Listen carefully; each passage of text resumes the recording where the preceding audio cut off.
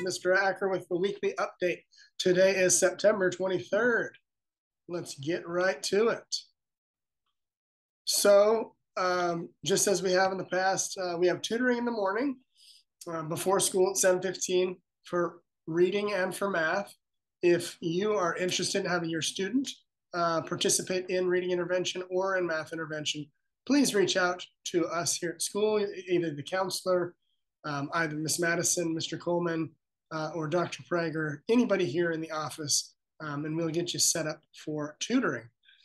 Uh, football and volleyball still continuing Tuesdays and Thursdays. Um, it might be too late to sign up, but uh, you may talk to the coaches.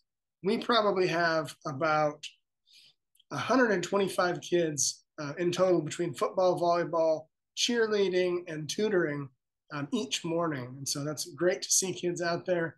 And uh, it's just a good way to start the day. Uh, makeup picture days next week, next, um, I believe it's Thursday, uh, the 29th. Yes, next Thursday, we're going to have make, makeup picture day here at school. Uh, we still have not received the files um, so that we can print new IDs. So I know there's a couple kids that have already lost or broken their IDs. Um, we will get those new IDs up soon, uh, but we'll take pictures for kids that missed or for kids that need to get new new pictures taken.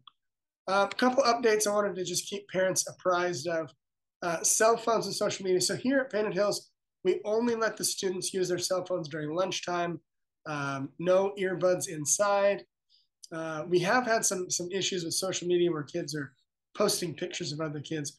We were very very explicit with kids at the beginning of the year uh, that they were not to take pictures of other kids without their permission. Um, and so we may get to a point we're gonna we're in a sort of a wait and see mode. But we may get to a point where we ban cell phones altogether.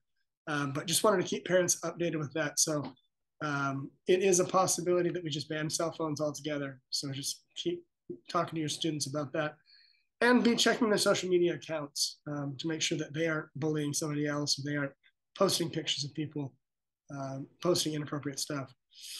Next week, we are going to have, you should start receiving a, um, a Google form to sign up for parent teacher conferences.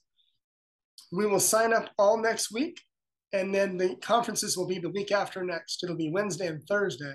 Uh, so Wednesday will be from about noon, about 12:15 to about three o'clock, and then Thursday will be another afternoon session, and then also an evening session from about 4 4:30 to 4 to 7 o'clock. Um, so be on the lookout next week to sign up for parent conferences, and then parent conferences will be the following week. All right, Panthers, have a great weekend. Be safe.